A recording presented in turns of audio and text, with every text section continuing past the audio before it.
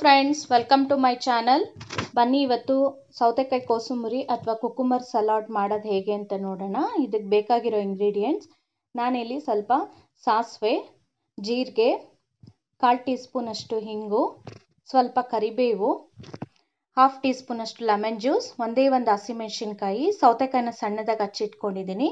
ರುಚಿಗೆ ತಕ್ಕಷ್ಟು ಉಪ್ಪು, ಹಾಗೆ ಸ್ವಲ್ಪ ಎಣ್ಣೆ. ಈಗ ಮಾಡೋದು ಹೇಗೆ ಅಂತ ನೋಡೋಣ. ನಾನು ಇಲ್ಲಿ ಒಂದು ಒಗ್ಗರಣೆ ಮಾಡೋ ಇದಕ್ಕೆ ಒನ್ ಟೀ ಸ್ಪೂನಷ್ಟು ಎಣ್ಣೆ ಹಾಕ್ಕೊಂಡು ಎಣ್ಣೆ ಕಾದ್ಮೇಲೆ ಅದಕ್ಕೆ ಒಂದು ಸ್ವಲ್ಪ ಸಾಸಿವೆ ಜೀರಿಗೆ ಹಾಕ್ಕೊಳ್ಳೋಣ ಸಾಸಿವೆ ಎಲ್ಲ ಚೆನ್ನಾಗಿ ಚಿಟ್ಲಿ, ಚಿಟ್ಲಿದ ಮೇಲೆ ಇದಕ್ಕೆ ಸ್ವಲ್ಪ ಕರಿಬೇವು ಹಾಕ್ಕೊಳ್ಳೋಣ ನಾನಿಲ್ಲಿ ಒಂದೇ ಒಂದು ಹಸಿಮೆಣ್ಸಿನ್ಕಾಯಿ ತೊಗೊಂಡಿದ್ನಲ್ಲ, ಅದನ್ನು ನಾನು ಒಗ್ಗರಣೆಗೆ ಹಾಕ್ಕೊತಾ ಇದ್ದೀನಿ. ನಿಮಗೆ ಬೇಕು ಅಂದರೆ ನೀವು ಡೈರೆಕ್ಟ್ ಸೌತೆಕಾಯಿಗೆ ಆ್ಯಡ್ ಮಾಡ್ಕೊಬೋದು.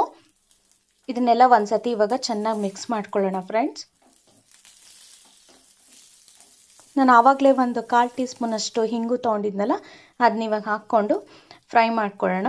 ಇದು ಜಾಸ್ತಿ ಹೊತ್ತು ಫ್ರೈ ಮಾಡಬಾರ್ದು, ಹಿಂಗು ಹಾಕಿದ್ಮೇಲೆ ಕಹಿ ಬಂದ್ಬಿಡುತ್ತೆ. ಇವಾಗ ಇದಾಗಿದೆ.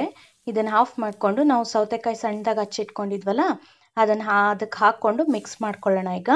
ನೀವು ಇದಕ್ಕೆ ಬೇಕು ಅಂದರೆ ಕೊತ್ತಂಬರಿ ಕ್ಯಾರೆಟ್ ತುರಿ, ಹಾಗೆ ಹೆಸರು ಬೇಳೆನ ನೆನೆ ಹಾಕ್ಕೊಂಡು ಬೇಕಾದರೆ ಇದಕ್ಕೆ ಮಿಕ್ಸ್ ಮಾಡ್ಕೊಬೋದು.